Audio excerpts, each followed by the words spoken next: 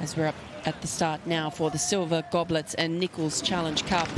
Hogan and Elworthy on the left-hand side of your screen and on the right-hand side of your screen, O'Donovan and O'Driscoll from Ireland quite tricky to get away cleanly in a pair, you know, just one or each. So any tiny um, difference in power can lead to a swerve.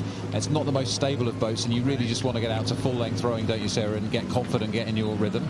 Uh, pretty aggressive start by the Irish on the right of our screen, O'Donovan and O'Driscoll. I'd expect them to be uh, pretty strong. They had a bye in the first round, so this is their first race at the regatta. Hogan and Elworthy on the left of the picture uh, rowed yesterday, beating uh, a crew in a fairly easy win. The crew they beat actually didn't row the race out they had some problems. So uh, you can see that lead looking, it's probably looking more than it is given the angle of the camera here, but they are they are well out, the Irish. Yeah, look, I think we would expect to see this. The former lightweight men's pair from Ireland, Mark O'Donovan and Shane O'Driscoll, now turned heavyweight, coming in at 80 kilograms, so some almost 10 kilos heavier than they were in the lightweight days. Yeah, uh, probably a much more comfortable life for both of them because you can actually consume uh, quite a few more calories and you can see they probably bulked up a little bit as well with strength um, and lovely rowing for them. Look at that, beautiful afternoon for them to be sitting out in front at this position passing. There's the Remenham Club on the left. There's often an enormous crowd wall for a close race there and you can see they've got uh, a good couple of lengths over um, the crew from um, uh, I forgot the club. Uh, from Doncaster, of course. Yes, that's Harry Hogan and Hugo Elworthy. Coming in a bit heavier at 97 kilos as their crew average. They raced on the Sunday of the Metropolitan Regatta and finished fourth in the open pair. So strong club pair here, but racing against two very seasoned international competitors in Mark O'Donovan and Shane O'Driscoll.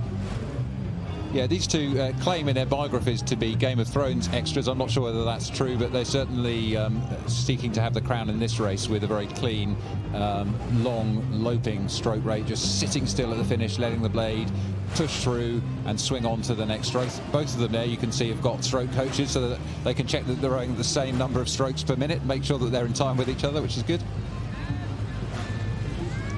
You know, this race, Sarah, uh, the Silver Goblets, is one of the oldest uh, races here at Henley. Started in 1845. To be part of a tradition like that is quite something.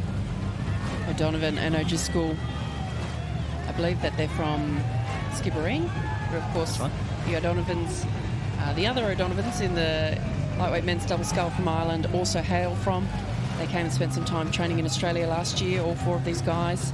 And um, I'm sure that they've put this in their bios because they want it read out on TV. So I think, given that they're doing so well, we should probably indulge them, even though I know it's not going to be not more Game of Thrones. a complete stitch up.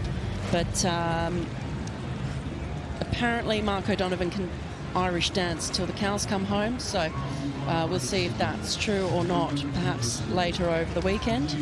And uh, apparently, Shane O'Driscoll is passionate about concrete. There you go. Interesting characters, uh, the pair of them. Now, one thing we should say, well, you know, why would lightweights turn heavyweight, uh, particularly at this time in the Olympic cycle, Sarah?